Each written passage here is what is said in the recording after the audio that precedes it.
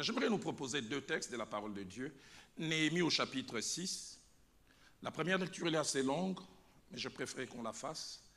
Néhémie chapitre 6e, du 1er au 9e verset, et puis du 15e au 16e. Néhémie chapitre 6, du 1er au 9e, et puis du 15e au 16e.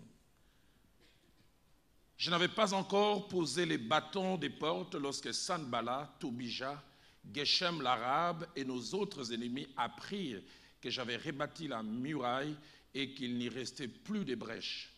Alors Sanbala et Geshem m'envoyèrent dire Viens, et ayons ensemble une entrevue dans le village de la vallée d'Ono. Ils avaient médité de me faire du mal. Je leur envoyé des messagers avec cette réponse, et soulignez bien cette réponse. J'ai un grand ouvrage à exécuter, je ne puis descendre. Dites avec moi, je ne puis descendre. Les travail serait interrompu pendant que je les quitterai pour aller vers vous. Ils m'adressèrent quatre fois la même demande. Je leur fis la même réponse.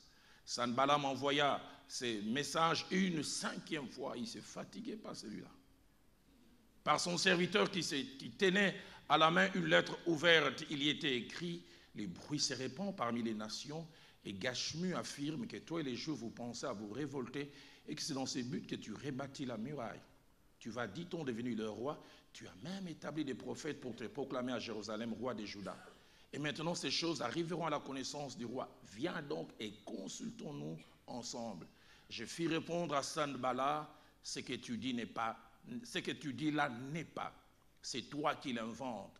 Tous ces gens voulaient nous effrayer et ils se disaient, ils perdront courage et l'œuvre ne se fera pas. Versets 15 et 16. La muraille fut achevée le 25e jour du mois d'Élul, entre novembre et décembre, en 52 jours. Lorsque tous nos ennemis la prirent, toutes les nations qui étaient autour de nous furent dans la crainte. Elles éprouvèrent une grande humiliation et reconnurent que l'œuvre s'était accomplie par la volonté de notre Dieu.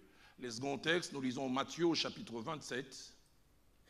Matthieu 27, nous lisons du verset 39 au verset 42.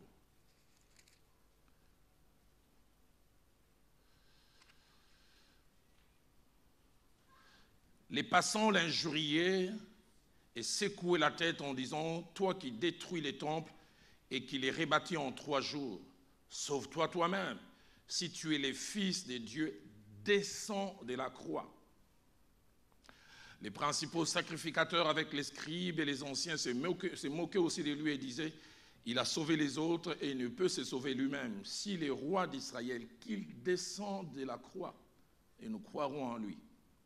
Il s'est confié en Dieu, que Dieu les délivre maintenant s'il aime, car il a dit, je suis le Fils de Dieu.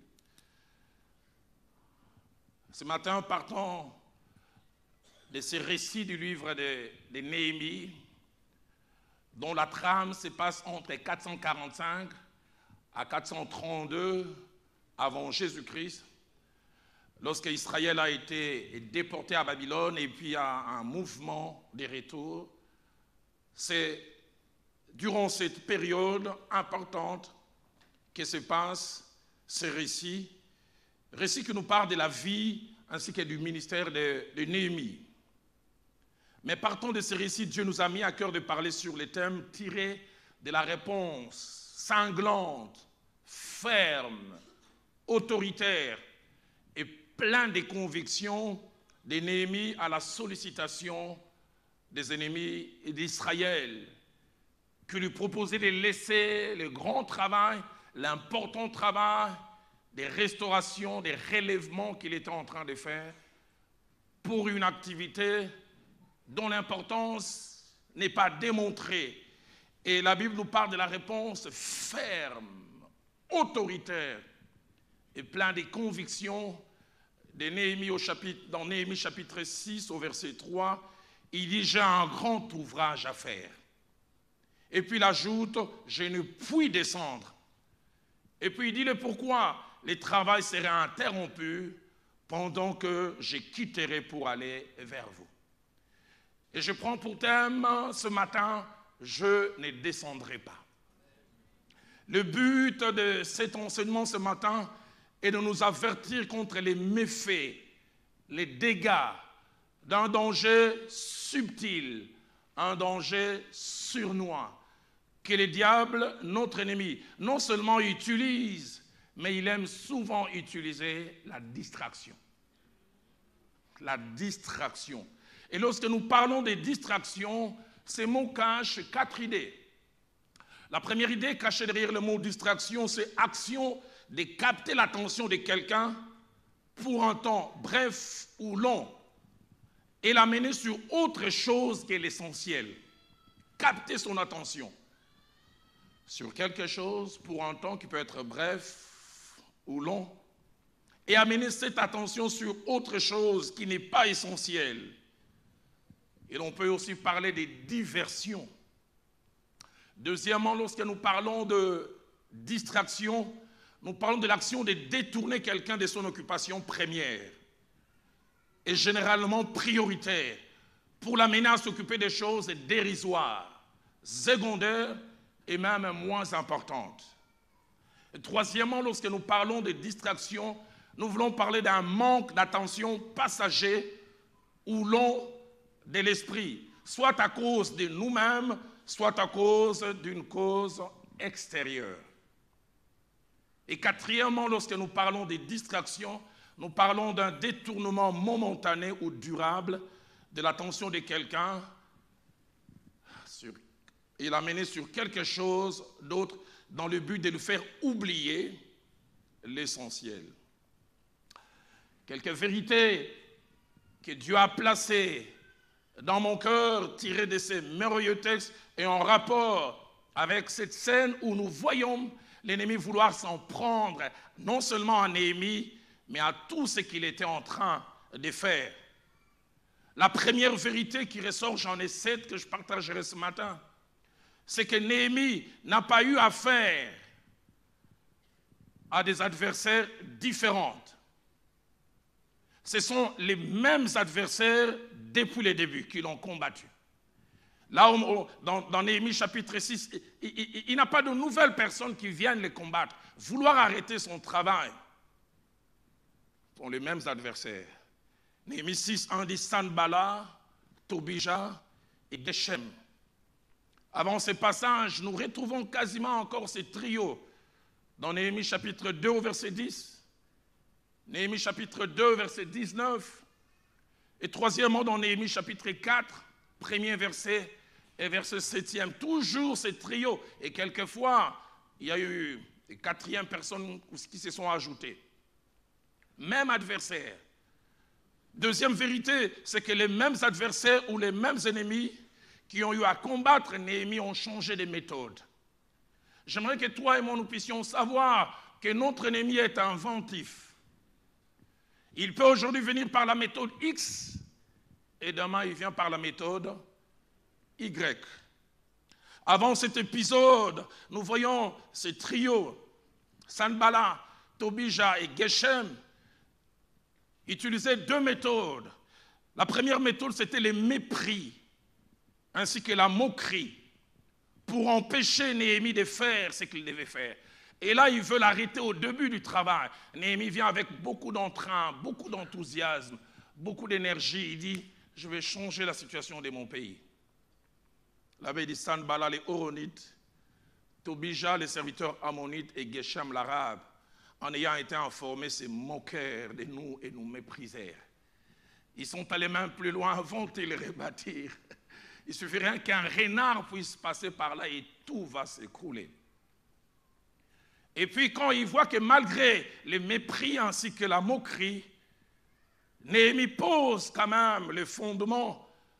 Néhémie chapitre 4 verset 8, il change de stratégie maintenant, c'est la colère, la méchanceté, le menace et même des dispositions à les attaquer physiquement. Néhémie chapitre 4 verset 8 dit, ils se liguèrent tous ensemble pour venir attaquer Jérusalem et lui causer des dommages. La stratégie première, elle était psychologique les décourager, leur montrer qu'ils sont incapables. La deuxième stratégie, elle est physique. Nous allons venir et nous allons les battre. Mais là, ils se sont rendus compte que cette deuxième stratégie a échoué ils utilisent une autre méthode, une méthode douce, une méthode raffinée, mais une méthode dévastatrice, la distraction. Ils disent maintenant, nous n'allons pas les combattre des fronts. Nous l'avons lu, Néhémie chapitre 6 au verset 2. Ils m'envoyèrent dire, viens, ayons ensemble une entrevue dans le village de nous. Venons, échangeons, parlons, discutons. Mais la fin du verset nous montre l'intention cachée. Il est dit, ils avaient médité de me faire du mal. Apparemment, une invitation. Viens, on va simplement échanger. Viens, on va simplement parler. Mais il y a une mauvaise intention. La version Free Martin dit, ils avaient comploté pour me faire du mal. Frères et sœurs, j'aimerais que nous sachions deux choses. La première, c'est que nous avons affaire à un ennemi ténace, patient et même persévérant. Patient, ténace et persévérant dans sa quête à nous faire du mal et à nous causer du tort. Mon pasteur, le fait Jacques-André Vernon, disait, si nous, nous factigons de les combattre, lui, ne se fatigue jamais. Le pasteur Vernon disait, le diable n'a pas beaucoup de fruits de l'esprit, enfin si on peut parler en termes de fruits de l'esprit, mais le diable a une qualité, la patience. Il peut te combattre 99 fois, 99 fois tu es victorieux, la centième fois il vient. Et au-delà de la patience, il a la foi. 99 fois tu as été victorieux, il vient et dit cette fois-ci ça va marcher. Ténace. Regardez, lisez les récits de Samson et Delilah. Samson résiste aujourd'hui, Delilah revient encore. Il résiste, elle revient encore juste ce que la Bible dit, son cœur devient impatient. Et il a fini par lâcher le morceau. Deuxième chose que je voudrais que nous puissions savoir, nous avons affaire à un ennemi réfléchi. Un ennemi capable d'organisation, capable d'être méthodique et avoir le sens de la planification.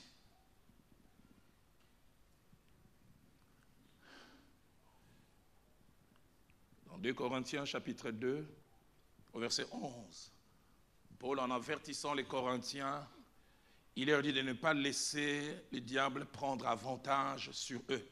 Et il ajoute, parce que nous n'ignorons pas ses desseins. Nous n'ignorons pas ses desseins. La version française courant et d'Arbidis, nous n'ignorons pas ses intentions. Mais le mot ici utilisé pour parler des desseins par des projets, des choses réfléchies. Ça parle aussi d'entreprise, c'est-à-dire des choses pensées, planifiées, organisées. J'aimerais que nous puissions savoir que le diable a un bureau d'études. Où il reste calmement. Et parole du salut Paris, j'aimerais que vous sachiez, il réfléchit comment vous détruire. Et je priais depuis trois jours. Dieu me disait, Roland, ce message que tu vas apporter, ce n'est pas seulement aux individus, mais c'est un message aussi prophétique pour l'Église. Réfléchis. Est-ce que vous pensez qu'il vous acclame Il est content que vous soyez parti des rien et que maintenant, on ne peut pas vous ignorer, vous pensez cela. Il travaille à ce que vous retourniez à l'état initial, mais je sais que ça n'arrivera pas. Parce que celui qui a commencé en vous cette œuvre, c'est le Dieu des œuvres achevées. C'est qu'il commence, il va avec jusqu'au bout.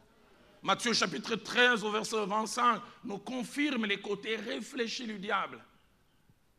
Très réfléchis même. Dans la parabole du blé et des livrets. Et cela nous est montré en trois temps comment il est réfléchi. C'est Jésus qui en parle. Il dit pendant que les gens dormaient, son ennemi vint. Il ne vient pas travailler en plein jour. Il ne vient pas agir à découvert. Il entend que les gens dorment. Pas d'attention, distraction, il vient. Et deuxièmement, Jésus ajoute, il s'est mal livré. Il choisit les moments, mais il choisit aussi les grains. Livrer un grain quasiment le même avec les blés, pour faire croire que c'est la même chose. Mais la troisième chose qui montre son côté réfléchi, les versets disent, il s'aima livré parmi les blés. Il aurait pu s'aimer livrer au coin du champ. Ça aurait été facile à enlever. Les contextes montrent que c'est chaque fois entre deux blés livrés. Entre deux blés livrés. De telle sorte que finalement, quand quelqu'un a proposé la, solution, veux-tu que nous enlevions livrés celui qui était réfléchi, dit, eh, si nous voulons enlever l'ivraie, nous allons s'y perdre. Donc il a posé un problème difficile à résoudre, parce qu'il est réfléchi, il est mauvais. Troisième vérité que ce texte nous enseigne, c'est que ses ennemis étaient des personnes dans les désarrois, qui agissaient non seulement parce qu'ils étaient mécontents, mais parce qu'ils sentaient le vent tourner. Ils étaient en train d'accumuler défaite sur défaite. Ils se rendaient compte qu'ils devaient frapper un dernier coup, sinon ils allaient être perdants définitivement. Néhémie chapitre 6 au verset 1er, c'est Néhémie le rebâtisseur qui dit, je n'avais pas encore posé les bâtons de porte lorsque Sanballat, Tobija, Geshem l'arabe et nos ennemis la prirent. J'aimerais m'arrêter pour vous dire que vos ennemis s'informent sur vous. Qu'est-ce qui se passe là-bas? Qu'est-ce qu'il y a eu? Non, ils sont passés de 100 personnes à 500. Ils sont passés de 800 à... Ils s'informent. Quand, quand ces ennemis l'ont pris, ils appris que j'avais rebâti la muraille et qu'il ne restait plus de brèches. Ce n'est plus les chaos du début. Ce ne sont plus les décombres du début. Les commentateurs disent que si euh, la muraille a été rebâtie en 52 jours, on était quasiment au 35e jour. Fièrement, le mur s'est présenté. On veut voir comment la situation a commencé à changer. Et Sanbala, Tobija, ainsi que Geshem voyaient leur défaite. Ils se disent, nous avons essayé de les arrêter au début, ça n'a pas marché, mais nous ne pouvons pas laisser que ça aille jusqu'au bout. Nous préférons les arrêter à ce niveau et que ça puisse être un travail non achevé. Le travail est fait quasiment, comme je l'ai dit, à 75%. il ne reste plus que les travaux de finition. Et Néhémie se rend compte que les gens se lèvent. Ceux qui au départ ont voulu l'empêcher de commencer veulent maintenant l'empêcher de finir. Et quatrième vérité qui ressort de ce texte, c'est que l'attaque ne porte pas sur n'importe qui et ne vise pas un membre quelconque de l'équipe de reconstruction. Étonnant, l'invitation n'est pas lancée à un ouvrier, l'invitation n'est pas lancée à un petit maçon, L'invitation est lancée au cerveau, à la colonne vertébrale du travail, à la plaque tournante. Celui qui, s'il est touché, tout le reste le sera aussi. Invite Néhémie, pas n'importe qui d'autre. J'ouvre une parenthèse pour dire, je crois à votre importance à vous tous. Mais j'aimerais vous dire, si vous aimez votre église, priez pour votre pasteur et son épouse. Priez pour eux. Tant qu'ils seront debout et forts, vous pourriez l'être aussi. Tant qu'ils seront soudés et unis en tant que couple, vous le seriez aussi. C'est à Néhémie que l'invitation est lancée. Viens, viens. Ils disent même pas si tu n'es pas dispo, envoie un de tes collaborateurs. Et la réaction de Néhémie montre combien il connaissait son importance. Il dit, je ne puis descendre. Le travail serait interrompu pendant que je les quitterai pour aller vers vous. Néhémie, tu ne fais pas tout le travail. Comment tout va s'arrêter si toi tu te déplaces? Néhémie, tu ne sais pas déléguer, tu ne sais pas confier à quelqu'un d'autre. Il savait que c'était lui qui avait la vision, lui qui orientait, lui qui corrigeait les erreurs. Il ne faut pas faire ceci. Non, là, ça n'a pas été fait comme il se doit.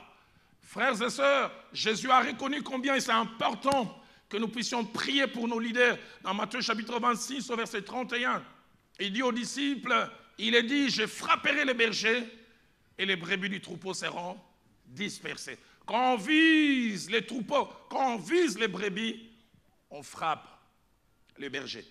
Dans Samuel chapitre 31 au verset 3, Israël est en guerre avec les Philistins et la Bible dit cette phrase étrange l'effort du combat se porta sur Saül. Ils sont nombreux sur les champs de bataille, il y a des colonels, il y a des généraux, mais ils attaquent Saül parce qu'ils savent que s'ils peuvent l'atteindre, tout le reste est fini. En Chronique chapitre 21, verset 21, la première fois que j'ai médité sur ces passages, j'ai vu comment le diable est un stratège. La Bible dit, Satan s'éleva contre Israël. Mais la suite dit, il excita David à faire les dénombrements. C'est Israël qu'il visait. C'est Israël qui voulait faire du mal. Du reste, après, quand vous voyez quand David a fait faire les dénombrements, c'est lui qui a fait faire les dénombrements, 70 000 personnes sont mortes. Pourquoi? Parce que les leaders comptent énormément. Seigneur, garde-nous de prendre conscience qu'à un certain degré de responsabilité, nos défaites ne sont plus des défaites individuelles. Ça entraîne tous les autres. Invitez Néhémie. Si ça s'arrête à son niveau, tout va s'arrêter. Cinquième vérité que ce texte nous apprend, c'est la clairvoyance ainsi que les discernements de Néhémie. Je dirais même la très grande clairvoyance et les très grands discernements de Néhémie. Un discernement et une clairvoyance que je prie que vous et moi nous puissions avoir. Clairvoyance ainsi que discernement qui les rendent capables de voir au-delà des mots les intentions cachées, de voir les non-dits, de les sentir, de voir les motivations qui ne sont pas mentionnées, mais qui sont bien présentes. Ils voient les vrais enjeux, les vraies motivations masquées et cachées que les simples, les naïfs ainsi que les sans révélation ne verront jamais. Il dit au verset 2, ils avaient l'intention de me faire du mal. Néhémie, comment tu sais ça? Il y a une invitation officielle, une, des bonnes paroles, mais il a su voir derrière. Et le verset 3 ajoute, il dit, j'ai un grand ouvrage à exécuter, je ne puis descendre. Le travail serait interrompu. Ce petit déplacement aura des effets inimaginables. Je ne puis bouger. Proverbe 22, au verset 23, les paroles du singe qui dit L'homme prudent voit les mal et se cache, mais les simples avancent et sont punis. Combien il est important que nous puissions prier que Dieu nous donne ses yeux spirituels, que nous puissions voir au-delà du physique. Avec les années dans le Seigneur, j'ai appris que les gens ne sont pas toujours ce qu'ils nous montrent. Et des fois, les discours des gens ne sont pas toujours totalement vrais. Le jeune prophète de 1 roi chapitre 13, il est mort parce qu'il a fait confiance au vieux prophète. Dieu lui avait dit, et l'autre vient lui dire, moi aussi je suis serviteur de Dieu. Et avait dit, il lui mentait. Seigneur, donne-moi les discernements. Donne-moi les discernements. J'ai jamais oublié, dans ma jeunesse, j'ai commencé petit à petit à exercer le ministère en 89. J'ai suis dans une église pas très loin de là où j'ai habité. Je prêchais jeudi, vendredi, samedi. Dieu s'est manifesté. Et cette maman qui dirigeait ce groupe de prières, sûrement elle avait beaucoup apprécié mon message. À peine on voulait manger, elle est entrée en transe. Alléluia. Moi, le Seigneur, j'ai dit Roland, dès demain, tu quittes l'église de la Borde. Ta place est ici. Je suis resté calme, un calme olympien.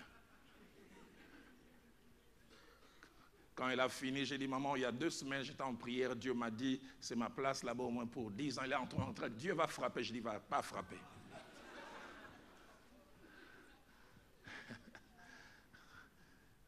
si on n'a pas de discernement, on va tout avaler. Tout.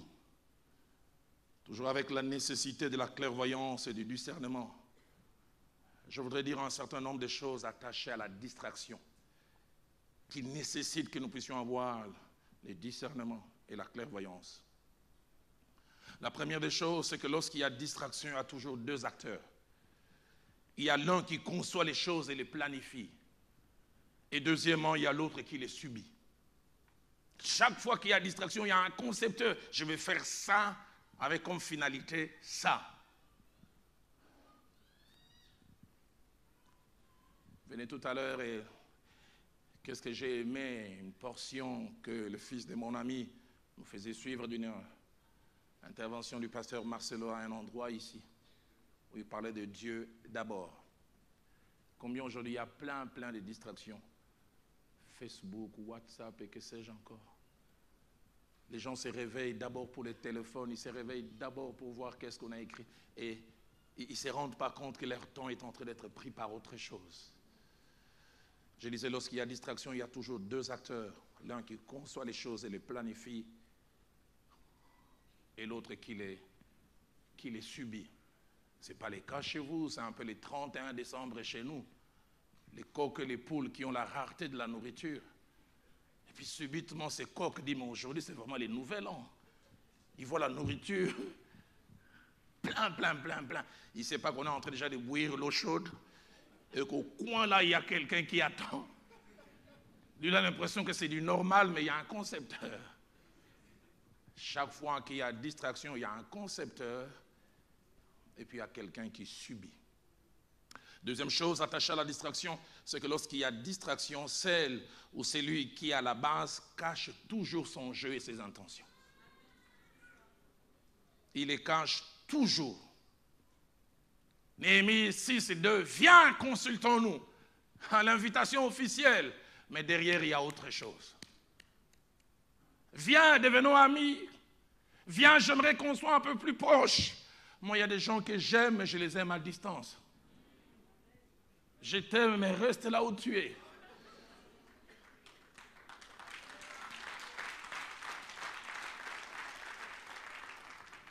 Les Romains ne disaient-ils pas dans leur stratégie de guerre, il dit, si vous n'arrivez pas à vaincre des gens, faites semblant de les rejoindre. Ils font semblant d'être avec vous. Le but, c'est qu'ils attendent un jour pour vous frapper. Troisième chose attachée à la distraction, c'est que le but et les objectifs cachés derrière la distraction sont multiples. La plupart des fois, le but ainsi que les objectifs de la distraction, c'est amener notre attention ailleurs que là où elle doit être. Notre objectif, c'est engager nos aptitudes, notre énergie et nos forces ailleurs que là où elles doivent être actives. Troisième objectif de la distraction, c'est nous faire perdre et gaspiller l'un des capitaux les plus importants, les temps. J'ai horreur des voleurs de temps. Quand j'étais jeune, j'avais l'impression que j'avais beaucoup de temps. Plus les années passent, j'ai cette érosion sur la tête. Plus je connais la valeur du temps. Je sais que les temps de force, il y en a plus derrière moi. Et je ne veux pas gaspiller mon temps. Je disais à mon épouse, aimons-nous. Faisons-nous du bien. Il n'en restait pas beaucoup. ne passons plus nos journées à nous chamailler, à tourner les dos l'un contre l'autre. Quatrième objectif de la distraction, c'est nous faire manquer le but essentiel. Et quatrième chose attachée à la distraction, c'est que la distraction ne nous rend pas forcément inactifs. La distraction nous garde actifs et même très actifs, mais au mauvais endroit.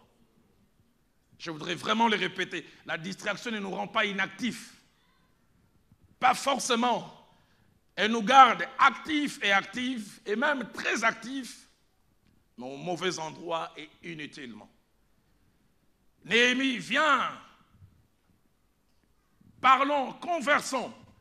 Il aurait passé son énergie en train de parler et la construction aurait ralenti. Il serait actif quelque part, mais pour un endroit où il ne devait pas être. Cinquième vérité, c'est que la distraction peut avoir plusieurs visages. Pour Néhémie, c'était une discussion. Mais la distraction aussi peut être des fausses rumeurs. Des fausses rumeurs pour lesquelles on passe beaucoup de temps. Je me souviens un jour, j'ai préparé un séminaire que je devais commencer le lendemain et j'ouvre l'Internet. Quelqu'un m'a envoyé un mail de quatre paragraphes où il m'avait injurié littéralement. En général, je sais savoir que ma chair est ressuscitée. C'est quand ma jambe droite commence à bouger.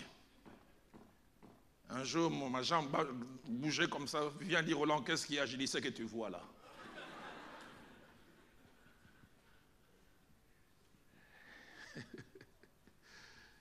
ça montre que le vieil homme n'est pas totalement mort. Vous connaissez cette histoire de ce jeune homme qui vient être baptisé et puis le jour du baptême, il dit au pasteur, pasteur, tout à l'heure quand on va me plonger dans l'eau, le vieil homme, il va rester là. Et pour des bons. Il sort de l'eau du baptême. Deux semaines après, il revoit son passé. Parce qu'il dit Comment ça va avec le vieil homme Dans la piscine. Bien maîtrisé. Et six mois après, le pasteur apprend qu'il a donné un soufflet, une gifle à sa fiancée. Il dit Mais j'ai appris que tu as donné un soufflet à ta fiancée. Il dit Pasteur, Je ne savais pas que les vieils hommes savaient nager.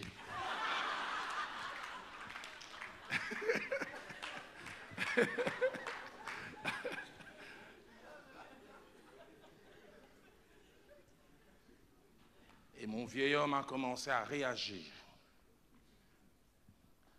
À l'époque, il n'y avait pas beaucoup d'Internet comme aujourd'hui chez nous. Il fallait payer pour 30 minutes, pour une heure. J'en avais pour 30 minutes et, je commençais à écrire. J'ai jamais oublié. J'écrivais, mes mains tremblaient. C'est quasiment comme si j'ai tapé la personne littéralement. J'écrivais un mot, j'ai dit non, ça, ça ne va pas faire mal. Il faut un. Je me suis avoir renouvelé l'abonnement six fois. J'étais venu pour 20 minutes, j'ai fait deux heures et demie. Et, et, j'oublie jamais, quand je voulais cliquer sur envoyer les Saint-Esprit, m'a dit, tu es face à. J'ai dit, non, Seigneur, non. Même si je suis enfant de Dieu, je suis quand même quelqu'un, Seigneur. Le Seigneur me dit, tu n'envoies pas. J'ai dit, non, non. Il me dit, si tu es de moi, efface tout ça.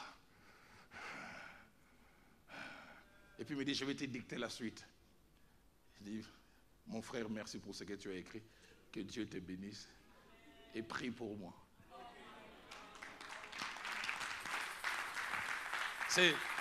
C'est sûr, quand il a lu, il m'a trouvé spirituel. Mais s'il savait tous les processus. Mais qu'est-ce que je veux dire par là? C'est que j'ai perdu deux heures. J'aurais pu faire autre chose. Je me dire à quelqu'un, ne descends pas. Quand le diable fait te faire descendre, ne descends pas. Laisse ces fausses rumeurs. Tu veux te justifier. J'ai appris avec les années, des fois, quand on se justifie, il y a des gens pour que leur opinion pour nous reste la même. Avant, après, ça reste la même. Donc tu as passé ton temps. Occupe-toi d'autre chose.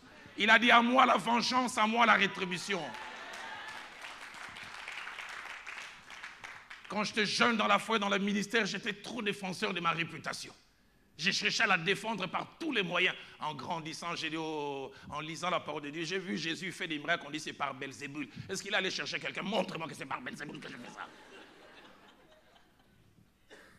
Il prêche quelque part, on dit il déraisonne. Il est hors de lui. Ne laisse pas ces distractions. Distraction peut avoir plusieurs visages. La gloire et la réussite peuvent aussi être une distraction. Tu perds les pédales. Tu n'arrives plus à te consacrer, à te consacrer sur l'essentiel. Jean chapitre 6 au verset 15, Jésus a failli être distrait, vient de faire un miracle, multiplication de pain. La Bible dit on voulait venir pour le faire de lui un roi, et faire quitter les sphères spirituelles pour l'amener vers les sphères politiques. La Bible dit il s'est détaché. Ne descends pas quand l'ennemi veut te faire descendre. Luc chapitre 12, verset 13 à 14, Jésus encore a décelé une distraction. Me dire à quelqu'un, ton temps est précieux, consacre-le pour ce pourquoi Dieu veut que tu les fasses. Jésus est en route pour faire un travail. Un jeune homme est en train d'écrire dans la foule. Viens nous aider, mon frère et moi, à nous départager notre héritage. Jésus dit, qui m'a établi? Qui m'a établi juge? La distraction peut avoir plusieurs visages. Des fois, j'ai vu, il y a des grands enjeux spirituels, j'aimerais faire telle chose. Des incompréhensions sans tête ni queue entre, interviennent entre mon épouse et moi. J'ai dit non, ça c'est le monsieur là qui est en train d'agir. Et j'appelle Viviane, j'ai dit Viviane ne tombe pas dans ces pièges. Jamais oublié quand Philadelphie voulait commencer, tout allait bien jusqu'à la dernière semaine. On s'est con la tête est bien. Et durant 24 heures, on a commencé à se bouder. Pourtant, c'était le moment où on devait être le plus proche. C'est la première, il a dit Roland, ça c'est une distraction du diable. Tu sais qu'on prie toujours ensemble et depuis maintenant que tout c'est... Et tu as vu qu'hier on n'a pas prié. Et c'était ça son but et son objectif. Je prie que tu ne descendes pas. Sixième chose, c'est que devant les distractions, nous ne réagissons pas tous de la même manière. Certains tombent dans les panneaux. D'autres, par contre, identifient la distraction, la démasquent et font échec à celle-ci. Septième et dernière chose, avant de revenir vers la vérité et conclure, c'est qu'il arrive souvent que nous n'arriverons pas à discerner, à démasquer la distraction. Mais si nous sommes ouverts nous pouvons la démasquer autrement. Comment? Par une bénédiction appelée voisinage. Une bénédiction appelée entourage. Je prie que si toi tu ne démasques pas, que Dieu place à tes côtés des gens qui vont démasquer. Ma Bible à moi déclare dans Proverbe 11, 14, les saluer dans un grand nombre, des conseillers. Je prie que Dieu place à tes côtés non pas des profiteurs, des gens qui viennent simplement pour profiter, mais des gens qui t'enrichissent. Que Dieu place à tes côtés des personnes comme l'épouse de Moïse, qui peut voir ce que Moïse ne voit pas. Et l'aider à résoudre un problème. Combien de fois n'ai-je pas été aidé par des collaborateurs? Je me souviens à un moment, un boulet rouge sur moi, Kinshasa. Je voulais parler. L'un de mes collaborateurs, pasteur Atom, s'est réveillé le matin. Il m'a dit, pasteur, Dieu m'a dit, ne parle pas, ne réponds pas. Alors que je m'apprêtais à aller passer à une émission. Seigneur, place à mes côtés des gens qui voient et ce que je ne vois pas. Mais aussi quand Dieu place ces gens, est-ce que tu les écoutes? Est-ce que tu les écoutes? Qu'il y ait des gens qui estiment qu'ils ont le monopole de la connaissance totale. Pas ouvert à d'autres personnes. J'aime quand la Bible dit soyez prompt à écouter. J'ai passé quelques années au Kenya et au Kenya, il y a une tribu, ils sont imbus d'eux-mêmes. On les appelle les Kikuyu. Et puis il y a une autre tribu, ils sont éleveurs. Mais la plupart des fois, quand ils viennent en ville à cause de l'exode rural, ils sont huissiers, ils sont domestiques, ils sont des Maasai. Et un Kikuyu qui est un grand CEO, un PDG, il travaillait dans cet immeuble, 12 étages. Il avait un huissier Maasai. Mais les Maasai, être Maasai en ville à Nairobi, c'est presque un handicap, mais il avait un deuxième handicap, il bégayait fortement. Et ce jour-là, son chef arrive, à peine ils veulent prendre l'ascenseur, l'électricité s'en va. ils sont obligés de monter au huitième étage, ils commencent à marcher. Premier étage, le Maasai a voulu parler. Qu'est-ce qu'un Maasai peut dire à un Kikuyu ah. Troisième niveau, il a voulu encore parler, chef, ah, Puis ils arrivent au huitième niveau devant les bureaux. Alors, Finalement, qu'est-ce qu'un Maasai peut dire à un Kikuyu En bégayant, chef, je voulais te dire que j'ai eu l'impression que tu as laissé la clé du bureau en bas. Et le chef a regardé, oh, c'est vrai Mais comment va-t-il dire maintenant au Maasai de descendre aller chercher la clé Parce qu'à trois reprises, il ne s'est pas ouvert à lui, lui-même est descendu. Aide-moi à dire à ton voisin, apprends à écouter.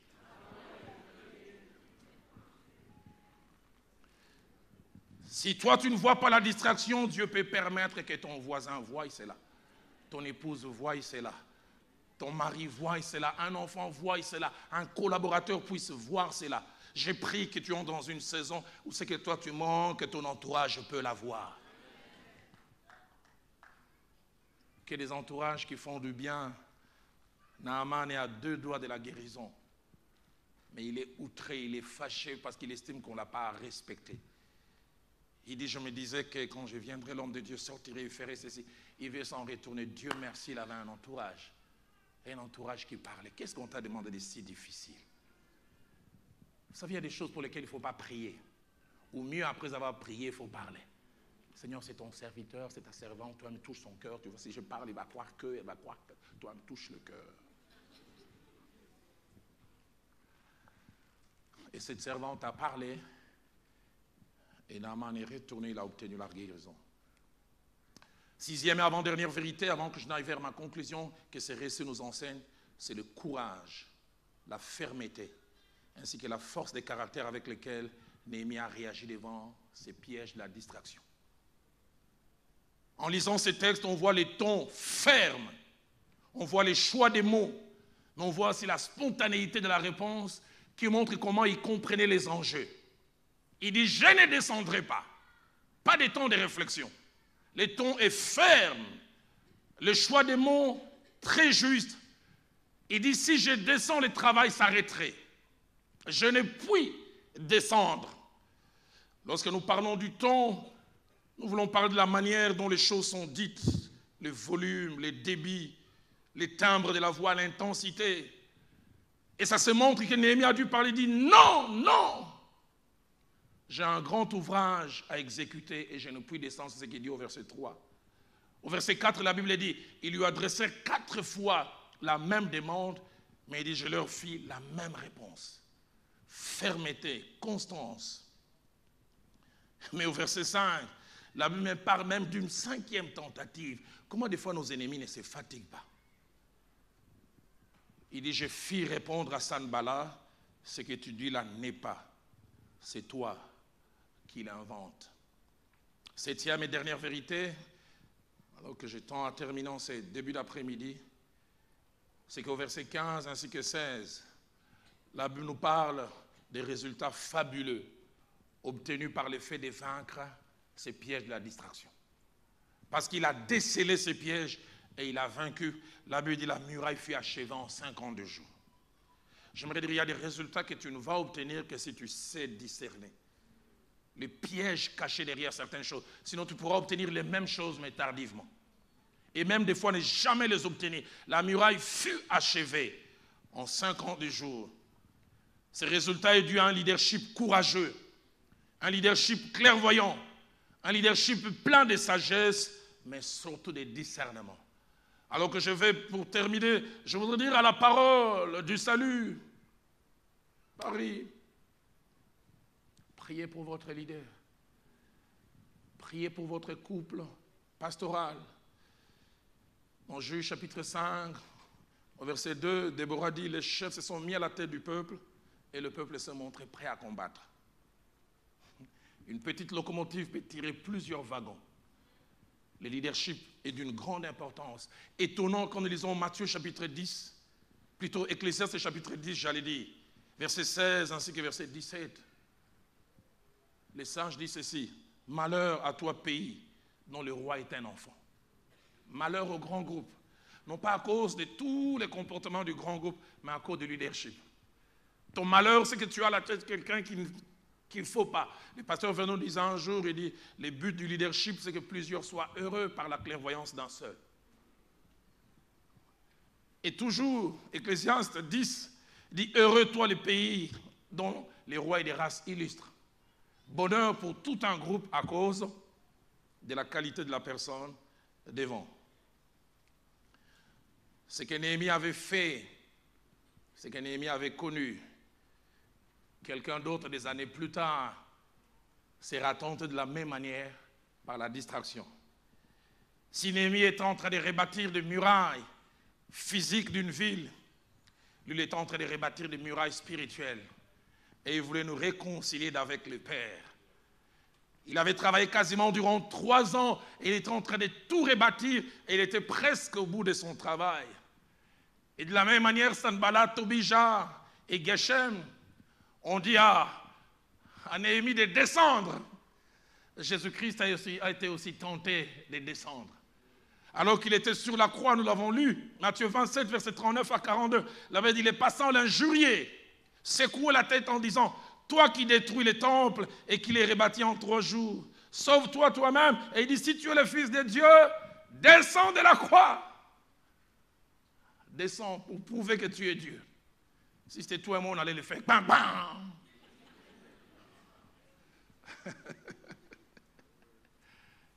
Ça s'arrête pas là, on touche son ego. Verset 41, les principaux sacrificateurs avec les scribes et les anciens se moquèrent aussi de lui en disant, il a sauvé les autres et ne peut se sauver lui-même. Si tu es roi d'Israël, qu'il descende et nous croirons en lui. C'est-à-dire, s'il ne descend pas, nous ne croyons pas. Vous ne croyez pas je vais vous l'éprouver. Dieu merci qu'il n'est jamais descendu. Parce que comme Néhémie aussi, il avait un grand ouvrage. Il savait que s'il s'arrêtait, s'il descendait, les choses allaient s'arrêter. Parce qu'il devait se présenter dans les propitiatoires célestes. Et j'aime, de la même manière, Néhémie chapitre 6, verset 15 à 16, dit la muraille fut achevée en quelques jours. Jésus-Christ, tout au bout dans Jean 19, au verset 30, il dit, tout a été accompli. Tout est accompli. De la même manière, Néhémie a achevé, j'achève aussi. J'aimerais dire à quelqu'un, tu ne descendras pas. Tu dois aller jusqu'au bout. J'aimerais dire à quelqu'un, arrête cette distraction de la pornographie. Quelque chose m'a montré, la plupart des fois, quand de grandes ouvertures sont devant moi, des grandes percées, de grands péchés arrivent aussi. De grandes tentations. La plupart des fois, quand je vois des grandes tentations, je sais savoir qu'il y a des grandes percées. Je prie que tu ne descendes pas. Je ne sais pas dans quel domaine le diable fait que tu descendes, mais je prie que tu restes bien là-haut. S'il y a des types de personnes qui peuvent, comme Néhémie, gérer les pièges, la distraction, il y a cinq types de personnes qui les gèrent bien. Le premier, ce sont les passionnés de Dieu, ceux qui aiment Dieu. Deutéronome 6, verset 5 dit Tu aimeras le Seigneur ton Dieu de tout ton cœur, de toute ton âme et de toute ta force. Si tu aimes tellement, Dieu te rendra capable de voir les pièges la distraction. Deuxième type de personnes qui ne descendent jamais parce que Dieu les rend capables, sont les personnes, les, les personnes, c'est-à-dire les hommes et les femmes des prières. J'ai appris avec les années que là où tout a échoué, la prière est réussie. Matthieu chapitre 14, verset 38 dit Veillez et priez afin que vous ne tombiez pas dans la tentation. Veillez et priez. La prière et la prière et la prière encore. La prière prend des ressources célestes et nous les donne pour affronter des défis terrestres. Troisième type de personnes qui ne descendent jamais et qui savent sortir victorieux du, combat avec la distraction, contre la distraction, j'allais dire, sont les hommes et les femmes remplis du Saint-Esprit. Le Saint-Esprit, au travers du don des discernements, qui sait vous faire voir quel est l'esprit qui agit derrière, quel est l'esprit qui anime? Quatrième type de personnes qui arrivent à vaincre le piège du discernement, c'est les hommes et les femmes bien entourés. Je prie que Dieu vous fasse don d'un entourage enrichissant et béni. Et puis enfin, cinquième type de personnes sont les hommes et les femmes des visions, qui savent ce qu'ils font pourquoi ils le font.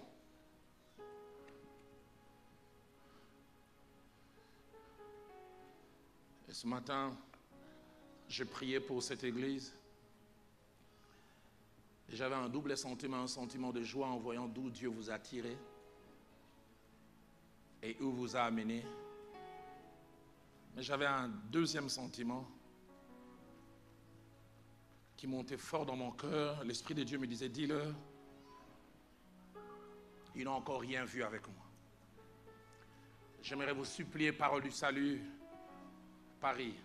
Ça, ce n'est pas le maximum de Dieu pour vous. Je sais que c'est déjà beaucoup par rapport à d'où vous venez. Mais j'aimerais vous le dire tel qu'il me l'a montré ce matin. Ça, ce n'est rien. Et je vous l'ai dit tel que ça monte dans mon cœur. Une petite réussite peut aussi être une distraction. Quelqu'un a dit l'ennemi de l'excellence et le bon. Des fois, quand on fait quelque chose de bon, on s'arrête, alors qu'il y a plus. Je lisais ce, récit de Yongisho, ça m'a frappé. Il y a 30 ans en arrière, il avait une église de 150, 200 membres. Et puis trois ans après, il a eu un boom, 10 000 membres. Il disait, fantastique, Dieu lui dit, c'est pas là où je t'attends. je veux plus. Quatre ans après, il a eu 100 000. Personne avant lui n'a fait ça. Il se disait, waouh. Dieu lui a dit, c'est pas encore ça. Un ami revient de la Corée il une année et demie. Le premier culte commence à 5 heures. Le dernier culte finit à 21 heures. Et entre 5 heures et 21 heures, un million de personnes.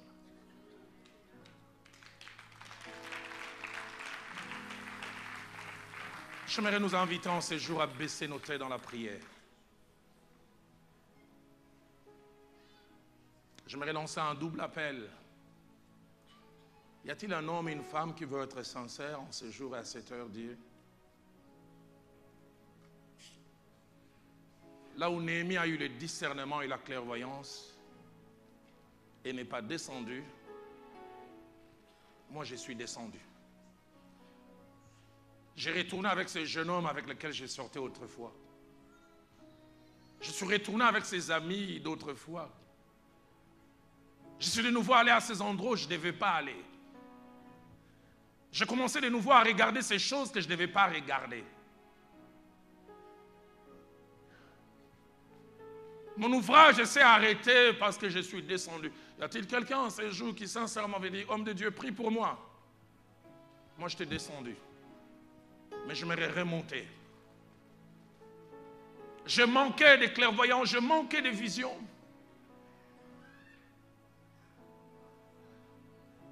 Je priais aux premières heures ce matin et Dieu me disait, Roland, là où tu enseignes, il y a quatre jeunes gens qui sont appelés au ministère. Et Dieu me dit qu'il y a l'un d'eux qui sera grand et très grand, non seulement dans ce pays, et même en Europe. Mais il lutte contre la pornographie. Et il a une vie de victoire et de défaite sinusoïdale. Victoire aujourd'hui, défaite demain. Et tu es venu même ce matin au culte, les cœurs lourds, en disant, je suis encore retourné. Dieu me dit de te dire deux choses. Il n'est pas content de ce que tu as eu à faire. Mais la deuxième, il me dit, sa main est sur toi. Ne laisse pas le diable t'accabler. Tu, es descendu, mais tu peux remonter. Deuxième appel que je me lancé. Y a-t-il un homme, une femme qui veut dire, Pasteur, Dieu m'a parlé. Je sais que demain, le diable va venir comme pour Néhémie vouloir me faire descendre. Arrêtez ce que je suis en train de faire. Arrêtez ce que Dieu est en train de faire au travers de moi, mais Dieu m'a vacciné ce matin. Et je prends la résolution comme Néhémie, d'être clairvoyant, d'être ferme en m'appuyant sur Dieu, de dire non seulement une fois, mais de dire quatre, cinq fois, je ne descendrai pas. J'ai un grand ouvrage. Si vous voulez répondre au premier, au deuxième appel, j'aimerais vous inviter à vous lever. Et je prierai pour vous et avec vous. Vous qui voulez dire sincèrement, homme de Dieu, prie pour moi. Je t'ai descendu. Je manquais de discernement. Peut-être même, non seulement je suis descendu, même au moment où tu parles, je suis en bas. Mais je m'aurais remonté. Mais y a-t-il aussi quelqu'un qui veut dire, Dieu m'a parlé et je voudrais demain, quand Sanbala, Tobija et Geshem vont venir, que j'ai disfère.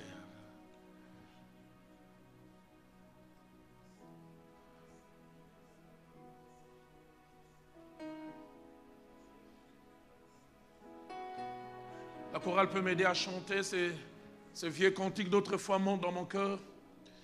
Jusqu'au bout, je vais te suivre dans le bon, le mauvais jour. En toi, je veux mourir et vivre jusqu'au bout.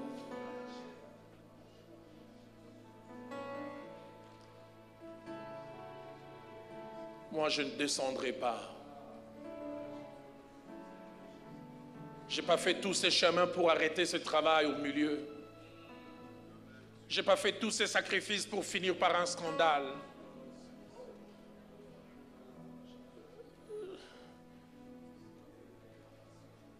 Jusqu'au bout, je veux te suivre dans le bon, le mauvais jour. En toi,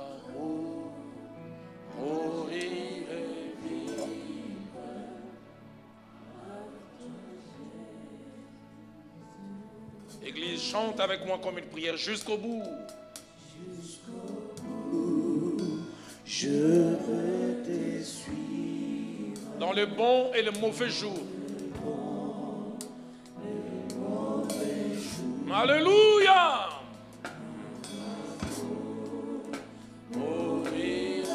Vivre.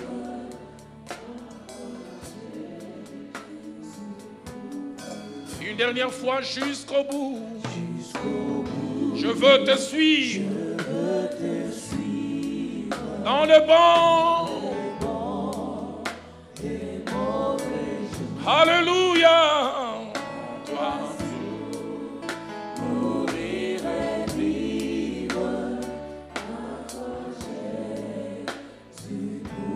J'aimerais nous inviter à nous lever tous et tenons-nous la main dans la main un petit moment. Juste avant que je ne prêche, alors que la servante de Dieu était en train de parler de la part du Seigneur, j'ai vu une double image. La première image, c'est une vieille image de chez moi au pays. Il était entre 6h et 6h30, le soleil s'est levé déjà. Et le ciel s'est assombri.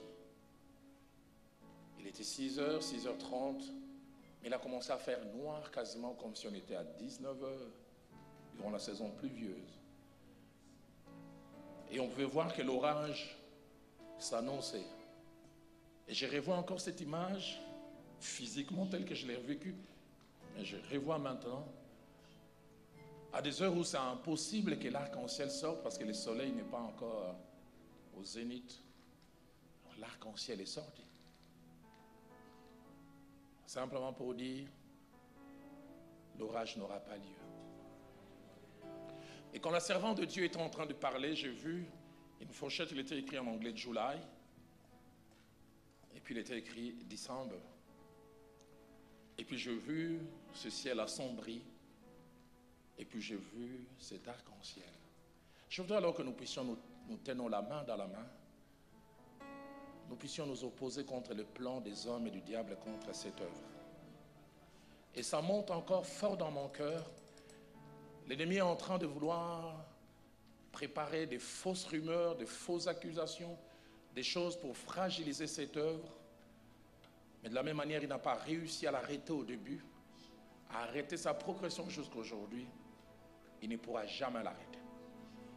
Et quoi qu'il arrive, je voudrais dire à mon frère, le pasteur Noëlla et son épouse et à toute l'église, et surtout au leadership, ne descendez pas. Cet ouvrage que vous êtes en train de faire est grand. Ne descendez pas. Ne vous justifiez pas. Ne vous battez pas par médias interposés. Laissez Dieu travailler en votre faveur. Alors que nous nous tenons la main dans la main, j'aimerais qu'avec vigueur, autorité, que nous puissions détruire le plan du diable, le plan des hommes en déclarant que ça ne va pas réussir. Brakatabo sayabose. Brikabo sayabase. Brako teke. Brako shaye. Brikatos. Brobo sei. Brako tiabose. Breko, breko. Bre, bre, bre, coche. Brebo saye. Brebo saye. Brebo saye. Brebo saye. Brebo saye.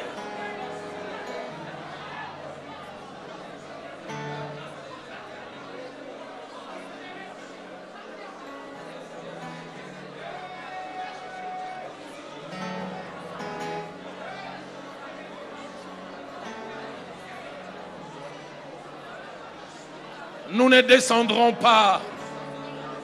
Comme Néhémie, nous ne descendrons pas. Toi qui nous as aidés dès le départ à rebâtir les murailles, tu nous aideras à l'achever. Nous achèverons la muraille. Nous achèverons la muraille. Celui qui nous a gardés hier, qui nous garde aujourd'hui, nous gardera aussi demain. Seigneur, merci.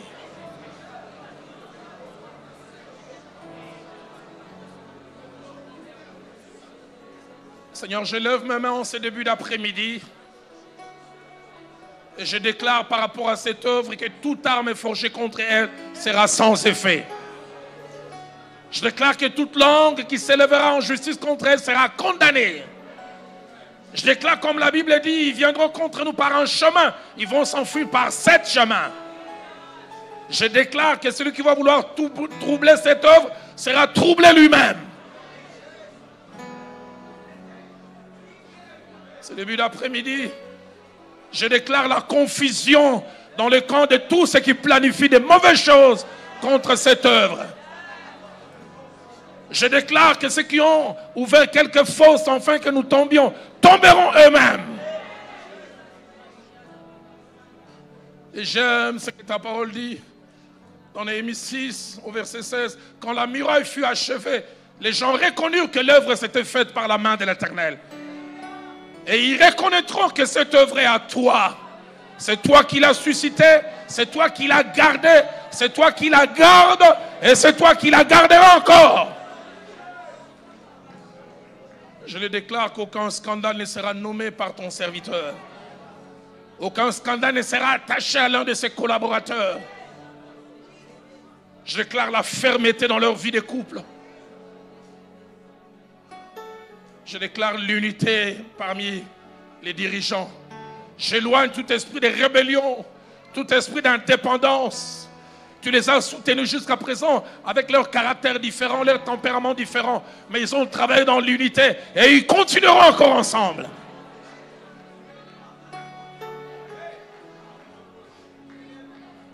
Et Seigneur, par la foi, non seulement je déclare que nous ne descendrons pas, mais nous t'acclamons et nous reconnaissons qu'avec toi nous sommes victorieux.